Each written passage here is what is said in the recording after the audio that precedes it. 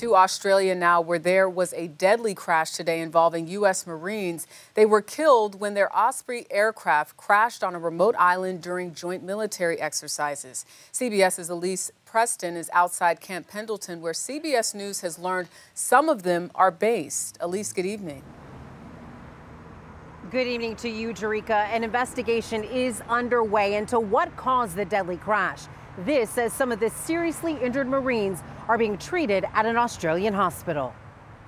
The military aircraft carrying 23 American Airlines crashed near Darwin, Australia, just seconds after the pilot radioed in an emergency. The Osprey, similar to these, went down during a training exercise at 9:30 a.m. Australian time on Melville Island, killing at least 3. This is a terrible incident. Helicopters airlifted five seriously wounded Marines to Royal Darwin Hospital about 60 miles away. Network 10's Samara Gardner. The hospital here has activated its highest emergency level, and that's meant that theatres were cleared out as well as several wards to cope with the wounded. U.S. officials tell CBS News the crash involved Marines from Camp Pendleton, and the Osprey was based out of Hawaii.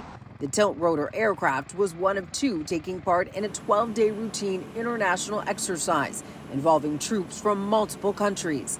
This is the second deadly incident this week involving a Marine aircraft. A Hornet jet crashed near San Diego Thursday, killing the pilot. Just last year, nine Marines died in two separate accidents involving Ospreys, one near San Diego and one in Norway.